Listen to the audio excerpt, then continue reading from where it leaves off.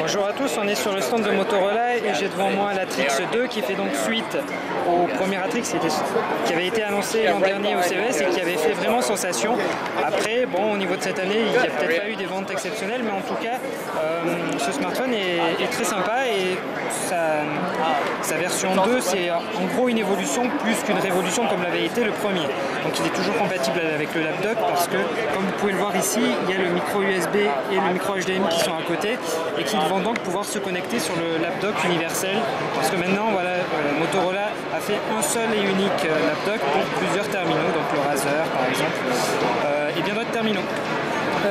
Au niveau, à l'intérieur, ce n'est plus un Tegra 2, mais un TI OMAP 4430 qui est cadencé à 1 GHz. Alors il faut savoir que ce processeur, on le retrouve également sur d'autres téléphones, mais là où il est généralement cadencé à 1,2, ici c'est seulement du 1 GHz, mais comme vous pouvez le voir dans l'interface, euh, tout est très fluide, il n'y a rien à dire euh, de ce côté-là.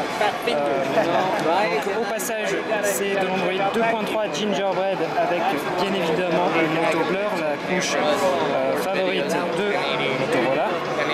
Donc il y a quelques modifications, je ne sais pas si vous voyez, mais quand, j'arrive sur un écran, voilà, ça fait ce petit effet. là, les petits boutons, c'est assez joli. Après, est-ce que c'est utile? Pas forcément.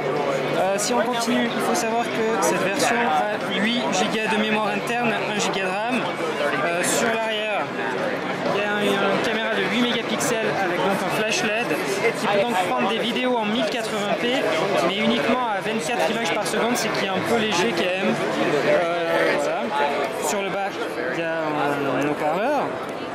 Sur l'avant, la caméra frontale, euh, il y a une petite caméra frontale euh, sous l'écran et qui, j'avais oublié de le préciser, cet écran il est Gorilla Glass euh, et il est, n'a également problème de l'écran taille qu'on avait jusqu'avant où on voyait vraiment les pixels. Ici c'est bien mieux, c'est la qualité à faire un bon en avant. Donc pour ce qui est de la batterie, elle est à nouveau relativement conséquente comme sur le premier. Donc c'est 1785 mAh, ce qui lui offre 382 heures en veille et 8h50 en communication. Euh, voilà, donc vous pouvez voir que tout est fluide. Il euh, faut savoir que sachant que c'est un TI euh, en, en processeur, euh, les MKV, donc euh, les, high profile, ces vidéos en, haute définition, 1080p ou 720p, se lisent sans aucun problème, sans aucune saccade. Pour ce qui est des applications intégrées, il n'y a pas franchement de, trucs très intéressants euh, à vous montrer.